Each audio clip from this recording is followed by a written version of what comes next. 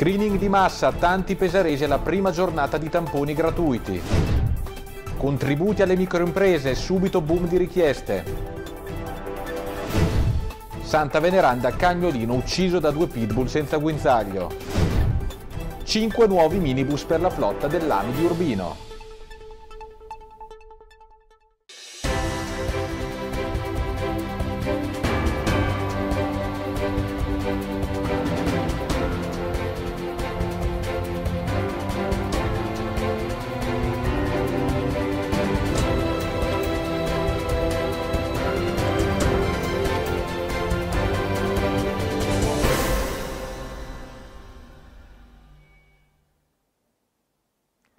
Una buona serata a tutti voi telespettatori e telespettatrici di Rossini TV che ci seguite sul canale 633 del Digitale Terrestre. Ben ritrovati a Rossini News, il nostro telegiornale della sera dedicato a tutte le principali notizie della provincia di Pesaro Urbino e della regione Marche telegiornale di venerdì 18 dicembre che apriamo occupandoci della prima giornata dello screening di massa promosso dalla Regione Marche che è cominciato questa mattina e che proseguirà per sei giorni fino al prossimo 23 dicembre con tamponi rapidi e gratuiti su base volontaria a tutta la cittadinanza.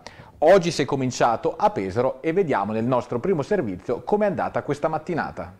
Primo giorno di screening di massa, primo giorno di tamponi rapidi, gratuiti e volontari predisposti dalla Regione Marche fino al 23 dicembre.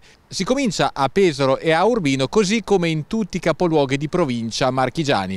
Qui ci troviamo all'alberghiero Santa Marta, alla scuola superiore che è stata designata come uno dei tre luoghi deputati a questi test medici per la città di Pesaro. Qui eh, si sottopongono a test rapido i cittadini residenti al centro, al mare e nei quartieri di Montegranaro e Muraglia. Sono circa le 10 e mezza di questa prima giornata di tamponi e qui all'alberghiero ci sono circa 50-60 persone in fila in questo momento, tra quelle che vedete qui all'esterno e quelle che sono diligentemente in fila all'interno. C'è chi si presenta naturalmente con il modulo prestampato da casa, eh, modulo scaricabile dal sito della Regione Marche o dal Comune, ma altrimenti ci sono i volontari della Protezione Civile che hanno predisposto un banco con i moduli pronti da compilare fare all'interno. Sta andando bene, i volontari sono impegnati anche questa volta eh, per diciamo, un'attività a favore della collettività e siamo qui dalle, dalle 7 e gestiamo la parte organizzativa eh, prima del tamponamento. Eh, e ad oggi, in, in, questo momento, sono stati tamponati centinaio, un centinaio di, volo, di, di volontari e, e sono le 10 e proseguiamo nella nostra attività. E io credo che sia importante, la Regione Marche ci mette a disposizione un, una cosa molto ma molto positiva, cioè, penso che sarebbe stato sbagliato non usufruirne.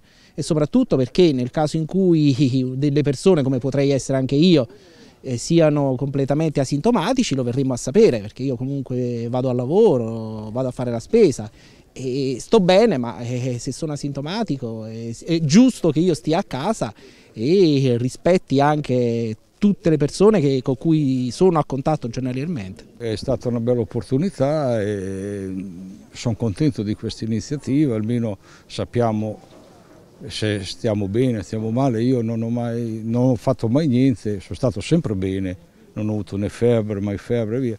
Adesso c'è questa possibilità di farlo e sono contento di averlo fatto. In effetti noi sintomi non abbiamo mai avuti, non abbiamo avuto neanche dei grandi contatti, almeno per ora, per, con persone che sono state malate, però appunto per, dal punto di vista statistico penso che sia importante. Noi stamattina abbiamo fatto un giro in bicicletta, siamo venuti a vedere ed è stato rapido insomma la cosa tutto sommato mi sembra che non ci siano state neanche dei non abbiamo avuto dei lunghi tempi insomma di, per aspettare quindi facciamo volentieri.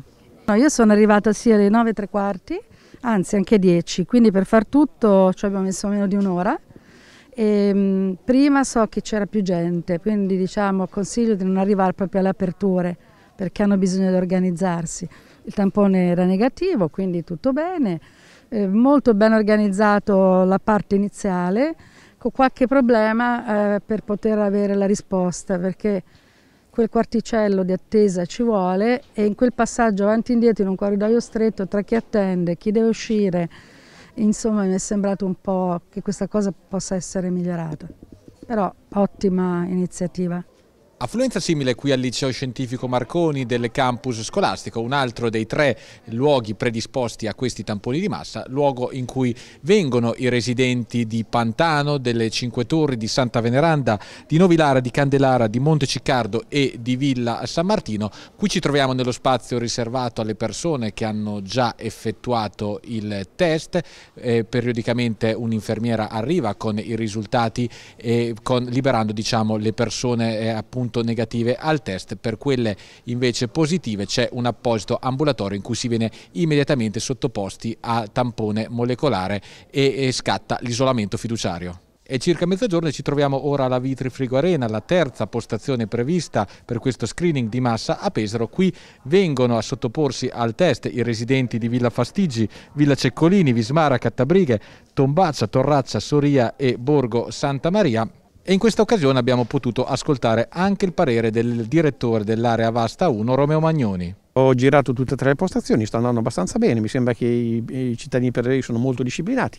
stanno in fila senza, senza, senza, senza far casino e quant'altro, quindi eh, capiscono l'importanza del problema, li ho ringraziati perché bisogna ringraziare anche loro, perché il fatto che si sottopongono in maniera volontaria, ricordiamo che, che volontario, al tampone è, un, è, una cosa importante anche per il singolo cittadino. Uh, I disguidi che abbiamo avuto stamattina all'inizio sono disguidi banali che succedono sempre quando uno parte con delle, delle, delle, delle cose così importanti, uno scrive così importante come abbiamo fatto noi e abbiamo notato che molta gente arriva senza, senza, senza il modulo, quindi è importante che venga, i cittadini arrivino col modulo che, che guadagniamo tempo, quindi cercheremo di parlare anche con le amministrazioni comunali per, far, per mettere a disposizione in più location possibile i moduli, oltre che come abbiamo detto da noi in, in comune oppure nelle farmacie, vedremo anche che uh, hanno pensato anche le edicole, insomma vediamo come fare per, per, mettere a disposizione più moduli possibili per migliorare la, la, la, la fila. Volevo ringraziare eh, tutti gli operatori dell'Asur eh, e anche la Regione Marche tramite l'assessore Saltamartini, tutta la Giunta per questa grande operazione di screening di massa.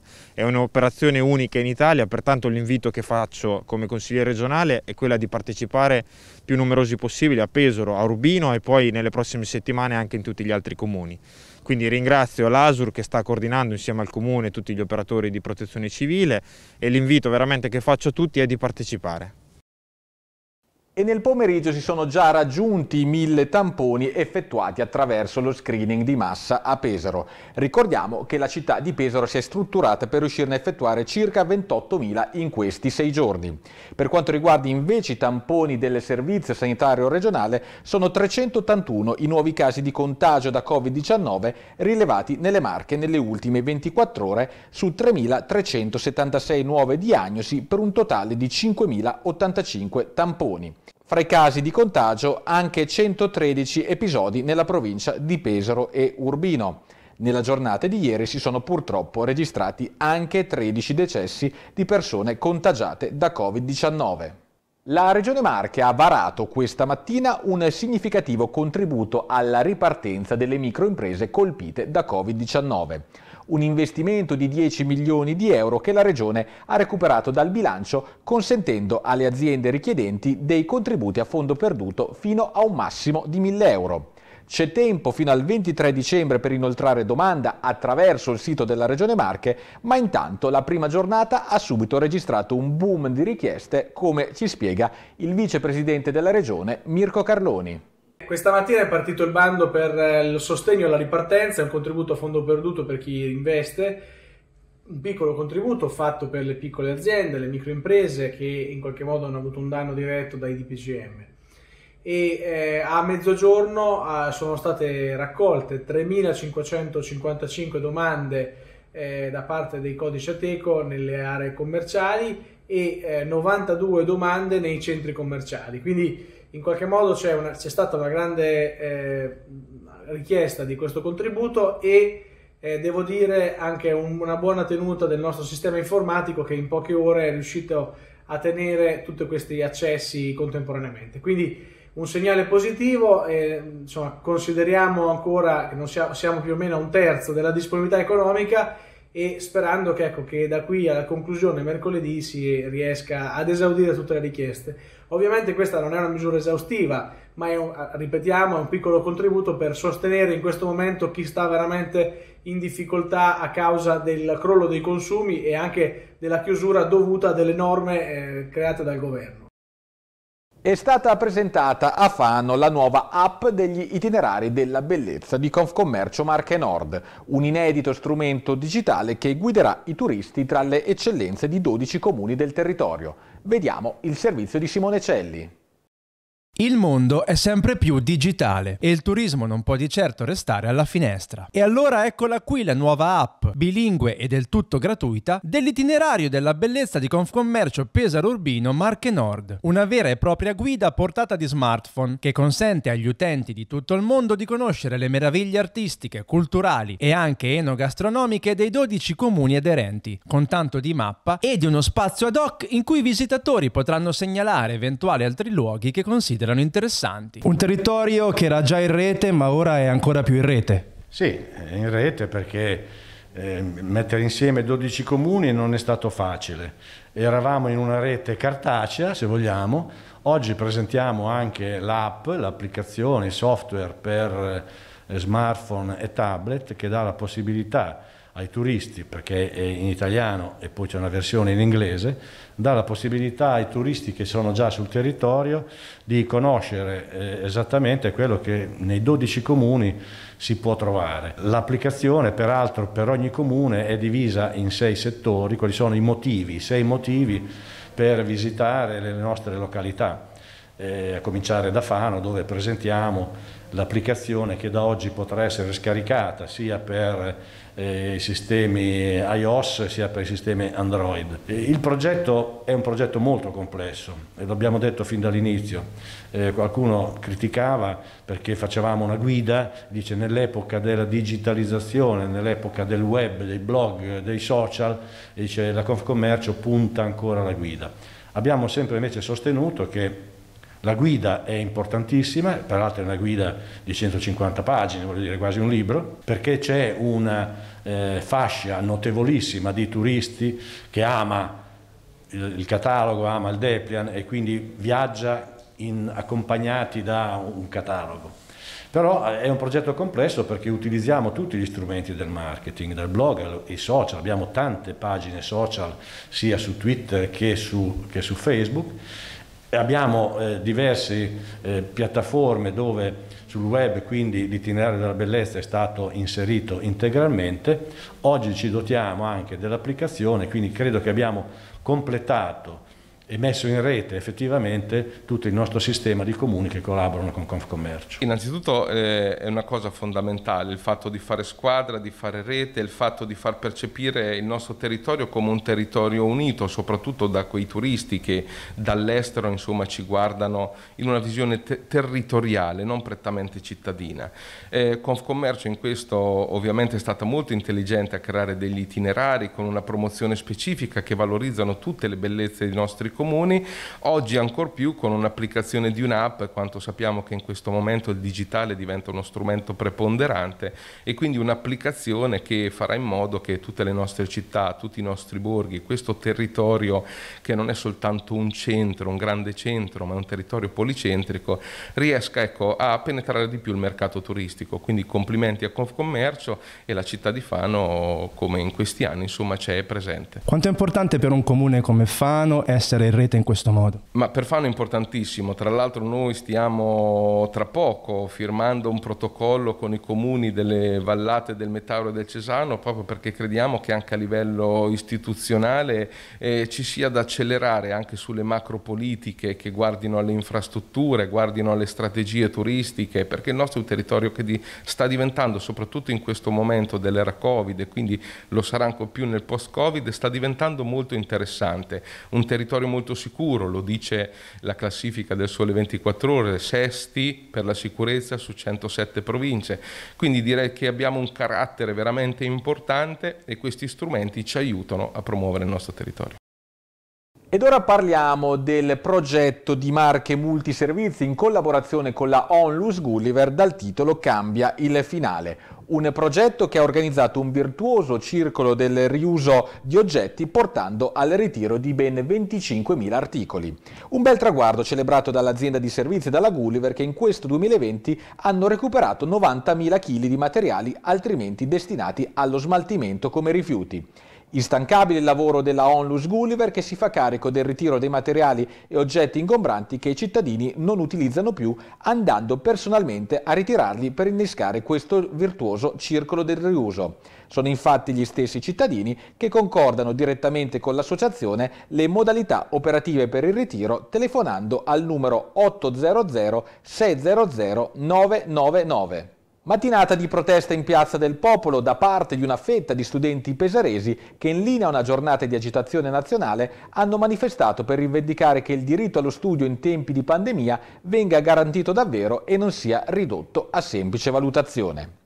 Nel cortile della scuola dell'infanzia comunale Filo Rosso di Via delle Galligarie è stato svelato questa mattina il murale I mondi che abitiamo, realizzato dall'artista Maluena Galimberti.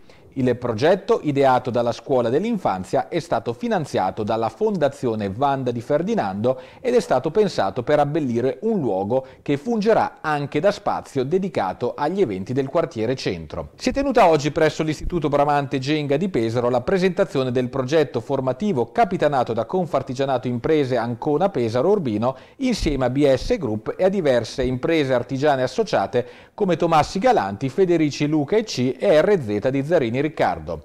Il progetto si rivolge agli studenti dell'indirizzo Industria Artigianato per il Made in Italy, settore legno e arredo e prevede durante l'anno scolastico e nei successivi anni di specializzazione incontri con le imprese, focus sulle soluzioni tecnologiche e sui programmi di gestione delle macchine. Ed ora vi raccontiamo una brutta vicenda accaduta nel quartiere di Santa Veneranda qualche giorno fa. Un residente ci ha infatti segnalato come la sua consueta passeggiata mattutina con il cane Snoopy di 6 anni si sia tramutata in un dramma. Il cagnolino infatti è stato aggredito e ucciso da due pitbull senza guinzaglio e senza museruola appartenenti ad un altro residente del quartiere. Come al solito sono uscito col mio cane Snoopy a portare l'immondizia in via Antonio via Giovanni Antonio da Pesaro, Santa Veneranda, vicino a Barfabio. La, è successo che all'improvviso, mentre mi recavo i bidoni, mi vedo di fronte due cani pitbull sciolti, praticamente senza guinzaglio, senza museruolo, senza niente, che mi sono corsi incontro e mi hanno ferrato il cane. Io ho cercato di alzarlo, ma me l'hanno strappato dalle mani e me l'hanno preso a morsi e non l'hanno più lasciato. E lo sbattevano a destra e a sinistra fino a che l'hanno straziato, una roba impressionante, neanche nei film succede una roba così. Io insieme al padrone che era corso insieme a me abbiamo cercato di liberare questi cani dal mio cane, ma praticamente talmente feroci erano che l'hanno sbattuto destra e sinistra come fosse una pezza da piedi, fino a che non, non l'hanno straziato, sbriciolato si può dire. A un certo punto hanno lasciato il cane perché l'hanno visto che era morto. In quel punto lì avevo tutti, tutti i vestiti insanguinati, le scarpe, i pantaloni, anche il giubbotto, tutto insanguinato per cercare di difendere il mio cane. L'ultima cosa che ho fatto cioè, accarezzare il mio cane che vedevo che proprio gli mancavano dei pezzi proprio. Ho cercato di toccargli il musino e lui mi ha dato un leggerissimo, leggerissimo morsino, come per dire ciao, ti saluto è una cosa straziante, non capiterà mai a nessuno, ma non ne auguro a nessuno. A questo punto, visto che il cane era morto, ho chiamato la AS di Vianitti che ha mandato un loro veterinario per controllare l'accaduto e poi ho chiamato anche i vigili urbani per venire a fare un piccolo verbale, a sapere cosa era successo non era successo, hanno, visto, hanno fatto delle foto, hanno visto anche loro come era successo. Per noi è stata una cosa, una perdita impressionante. Io e mia moglie siamo straziati, non riusciamo più neanche a guardare dove, dove andiamo perché eh, la nostra abitudine era talmente insieme al cane che era un figlio per noi. È una cosa fuori di, testa, è straziante. Ancora stiamo piangendo da tre giorni ormai che è successo, ancora stiamo piangendo per questo motivo. Davvero una spiacevole vicenda quella che ci ha raccontato questo nostro telespettatore. E anche per tutti voi che ci seguite quotidianamente vi ricordiamo il numero WhatsApp dedicato alle segnalazioni 370 366 7210. Cambiamo argomento perché questa mattina a Urbino l'azienda di trasporto pubblico AMI ha presentato i 5 nuovi minibus che si aggiungono ad altri 6 già acquistati nell'arco del 2020. Vediamo il servizio di Andrea Sabatini. Questo fa parte del, diciamo così, è uno dei tanti interventi di investimenti che AMI ha programmato eh, nell'ultimo oh, biennio. Tutti, eh, saranno tutti utilizzati nella città di Urbino, saranno utilizzati in, eh, soprattutto per il trasporto degli studenti eh, per, e, e ci auguriamo anche per altri utenti che mi auguro a presto, prestissimo riempiano le strade di Urbino come eh, un tempo. Eh, sono di mezzi di ultima generazione, sono tutti Euro 6 a basso impatto ambientale, eh, dotati anche di, mh, mm, eh, diciamo così, tutta una serie di accessori come tutti i mezzi nuovi eh, che compriamo da un, eh, da un certo periodo di tempo in qua, quali ad esempio la videosorveglianza a bordo, avete visto che c'è un sistema di conta passeggeri, il cliente dall'esterno si rende conto se ci sono dei posti liberi o meno, e soprattutto questo è utilissimo in questa fase particolare dove la capienza è ridotta del 50% che speriamo, come dicevo prima, che finisca tutto presto. Nell'anno del 2020 già ne avevamo acquistati e messi in esercizio altri sei e altri cinque seguiranno nei prossimi giorni. Tutto questo per cercare di dare sempre un servizio migliore ai cittadini, alla città, all'ambiente, perché sono tutti Euro 6 di ultima generazione. La politica aziendale è quella di continuare con questo forte rinnovo del nostro parco che negli ultimi 3 o 4 anni già abbiamo rinnovato circa il 30%, tra l'altro questo 30% fa circa la metà dei chilometri complessivi. La nostra politica sarà quella di continuare su questa strada, dando sempre più attenzione all'utenza e all'ambiente. Devo ringraziare il presidente Luciano Balducci e il direttore e tutto il suo staff perché veramente stanno facendo un ottimo lavoro, hanno riportato la società negli ultimi 4-5 anni a un livello veramente ottimale, capace di fare gli investimenti per dare un servizio come stamattina viene presentato con mezzi più adeguati, idonei per i disabili, cioè tutte le caratteristiche che un trasporto di ultima generazione debba avere. Quindi ringrazio ovviamente la Regione che sta facendo un programma di investimenti eh, importante sul tema del trasporto pubblico perché dobbiamo assolutamente andare in linea con quelle che sono le linee guida europee sul trasporto a basso impatto, quindi sul basso impatto ambientale, sul trasporto pubblico, perché dobbiamo sicuramente tutti quanti pensare che dobbiamo utilizzare di più il trasporto pubblico e per fare questo la nostra società partecipata, di cui Urbino è il socio di maggioranza, Devo, ho, ho, spinto anch'io perché vengano fatti gli investimenti per dare un servizio adeguato ai tempi che, che viviamo. Ed ora ci occupiamo della Fondazione Filippo Fattori, una fondazione nata nel 1990 che ogni anno premia gli studenti delle scuole della provincia portatori di affezioni come distrofie muscolari o malattie neurologiche che si sono distinti nell'ultimo anno scolastico.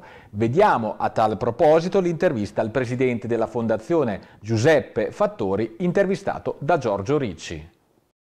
Anche quest'anno, malgrado le, le, difficoltà note a tutti, la Fondazione ha, provveduto a selezionare le domande pervenute, a graduare e ad assegnare i premi agli studenti delle varie scuole medie, inferiori e superiori della provincia che hanno presentato domanda. Per eh, coincidenza le domande sono state 55, e pari a quello che era stato sempre da anni il budget che la sua fondazione si è assegnata in relazione alle proprie disponibilità. Quindi sono lieto di, di dire che tutti hanno ricevuto il loro premio. Negli anni scorsi in questa sede venivano tutti i giovani premiati, venivano le loro famiglie, eh, sostanzialmente era una festa e dirò che sia i genitori che, che i ragazzi hanno sempre manifestato la, diciamo, la, la, felicità di questo incontro.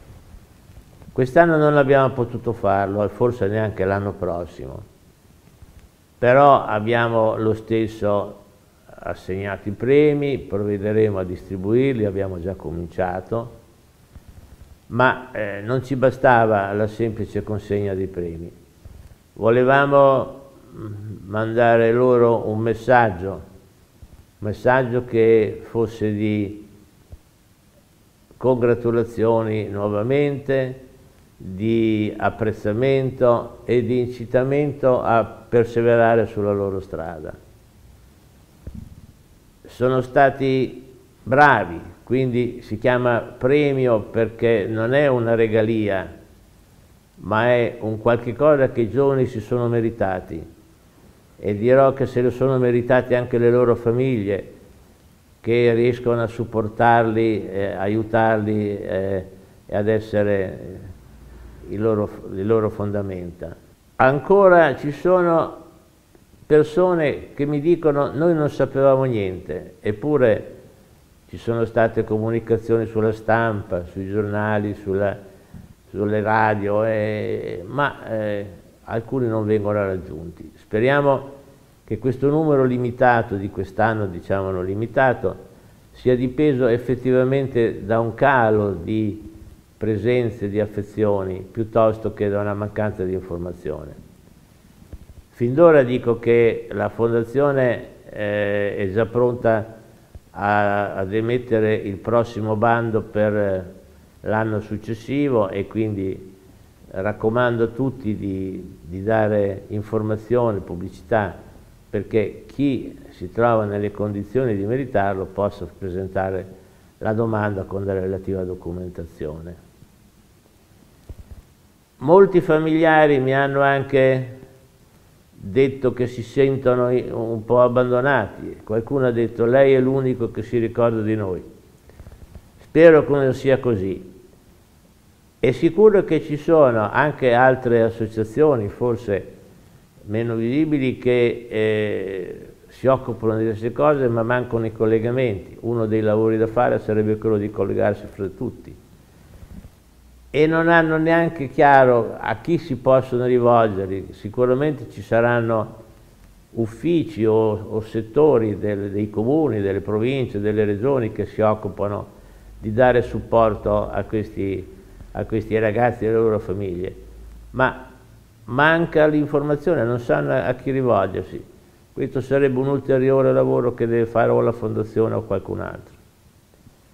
Poiché siamo nelle prossimità delle festività natalizie, prendo l'occasione nel fare, oltre a rinnovare i complimenti a questi giovani, nel fare auguri per le festività natalizie sia loro e alle loro famiglie, nonché per il prossimo 2021, che tutti speriamo sia migliore in questo. Ed era questo l'ultimo servizio del nostro telegiornale. Prima di salutarci vi ricordiamo qualche appuntamento sul nostro canale 633 Rossini TV, a cominciare dalla prima serata, questa sera alle 21.15, approfondimento sulle tematiche della Confcommercio Marche Nord con il direttore provinciale Amerigo Varotti, intervistato da Emanuela Rossi. A seguire alle 21.30 Magiche Feste al Giardino di Santa Maria. Vi ricordiamo anche che domani, sabato 19 dicembre, c'è la rassegna stampa del sabato in diretta dai nostri studi, come sempre alle 7.20. A condurla sarà Marco Cadeddu. Per gli sportivi non dimentichiamo anche che domani, sabato 19 dicembre, trasmetteremo la partita dell'Ital Service Calcio a 5 in trasferta contro la Cybertel Aniene alle 18, appunto partita in diretta davvero da non perdere. Ed è davvero tutto per questa nostra edizione del telegiornale. Da tutta la redazione il più cordiale saluto e un buon proseguimento di serata con i programmi di Rossini TV.